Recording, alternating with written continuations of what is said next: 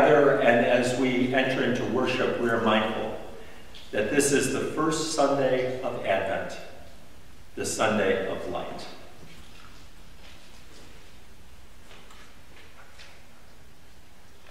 Our call to worship is taken from Psalm 119, verses 102 through 105.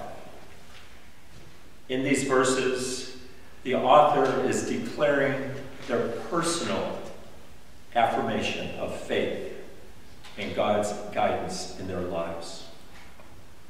May these words unite our hearts and guide us onto a path of worship.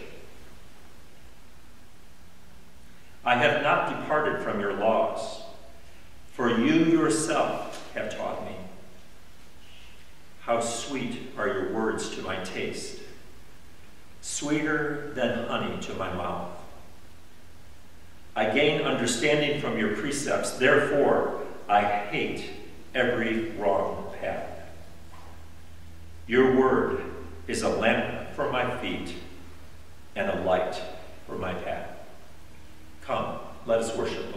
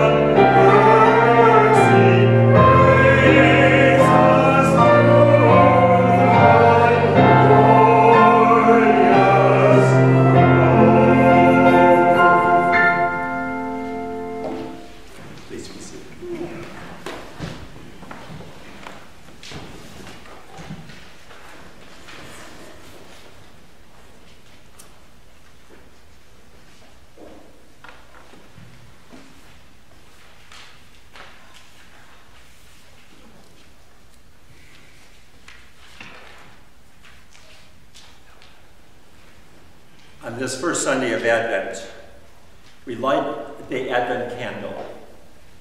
In doing so, we are reminded of the truth of who Jesus is as the light of the world.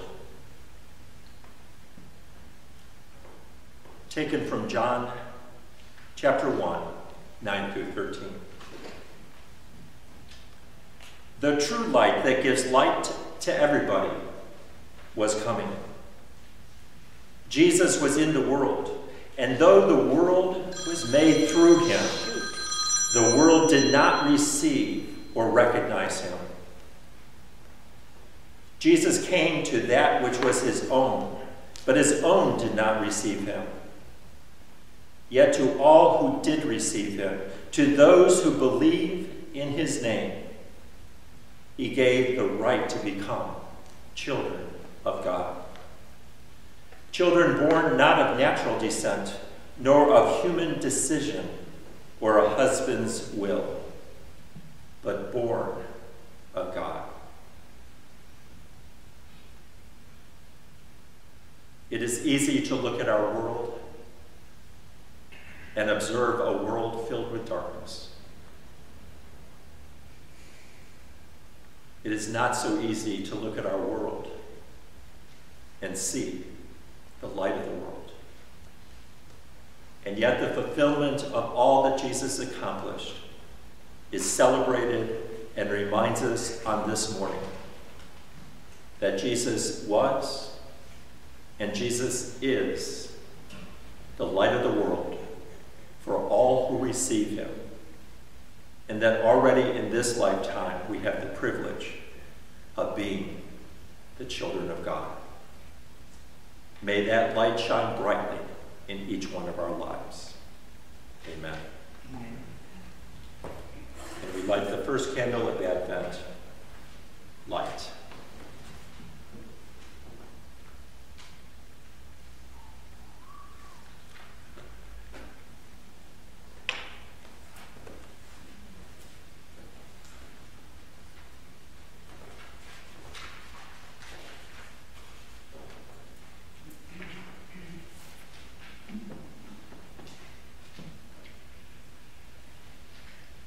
Continue, we now move into our time of guided prayer, especially in this context with our order of service.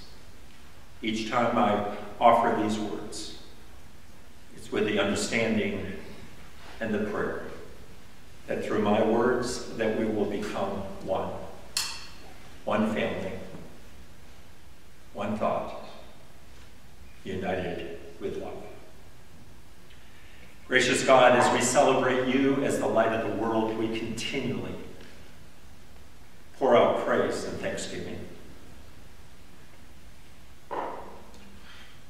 As the God of the universe, as the God who created, and especially as recorded, that the Word spoke and created all things.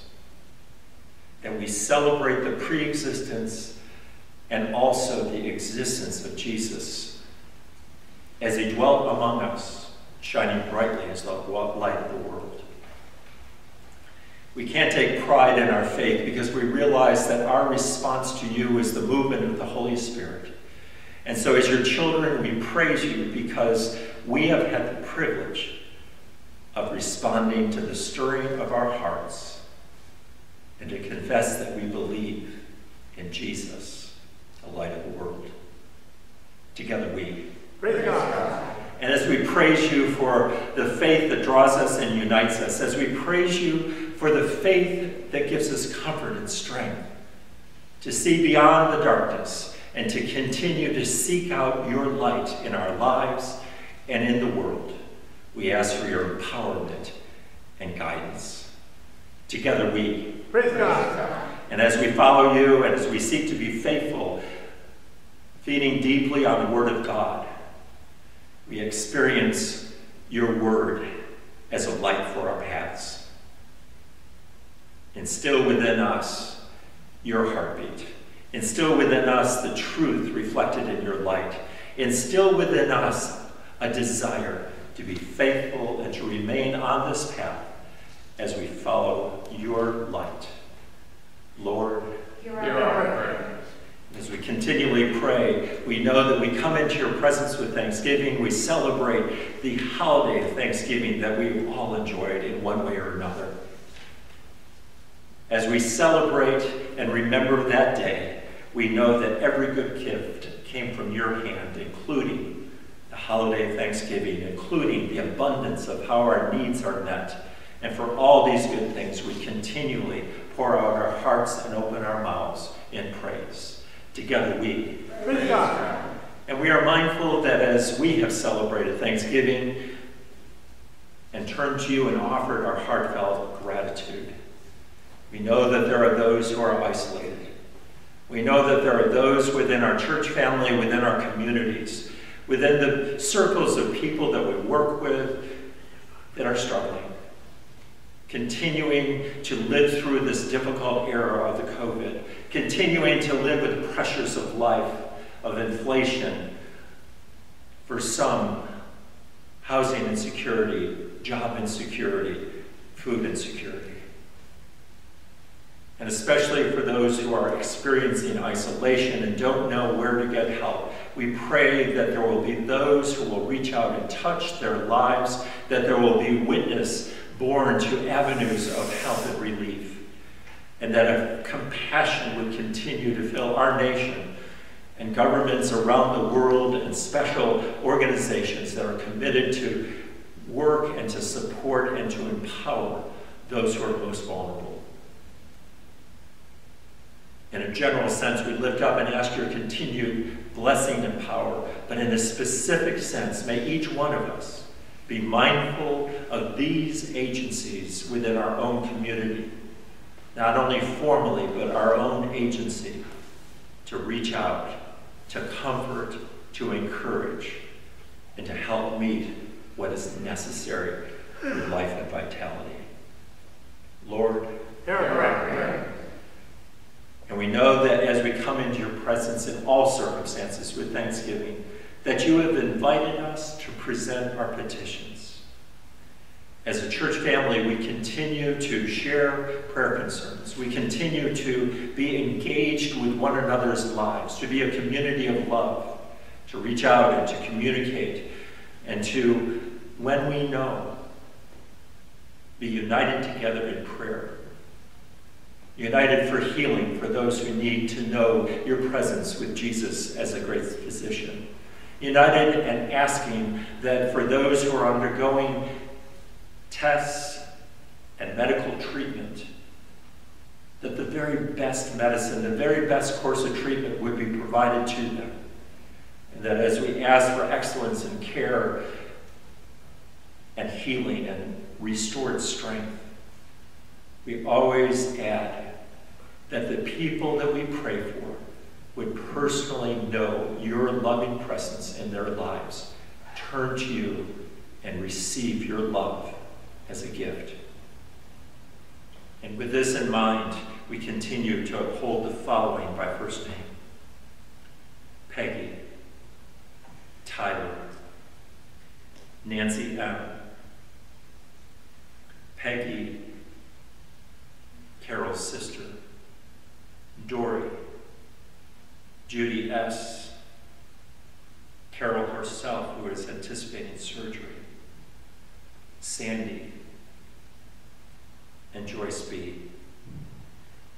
Gracious God, these are some of the members of our church that we know need your presence and your encouragement and healing as we have expressed. Lord, and along with these individuals, we celebrate, as we've been reminded recently, of the significance of Marion's family in our community.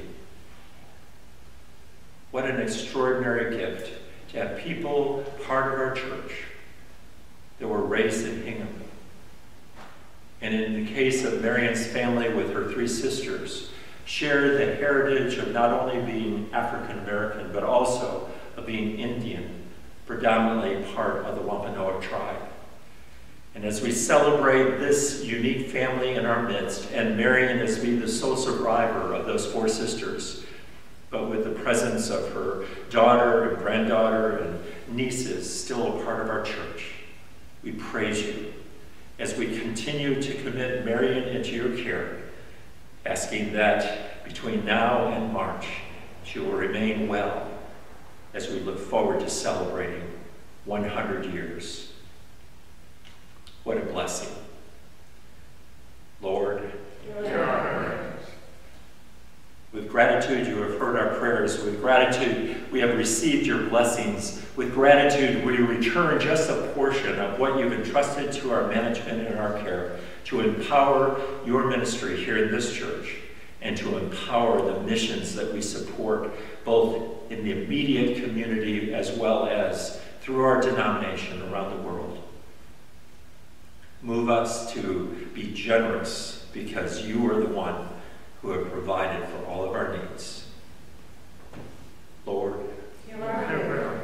and now unite us together as we, with one voice, pray the prayer that Jesus taught his disciples by saying, Our Father,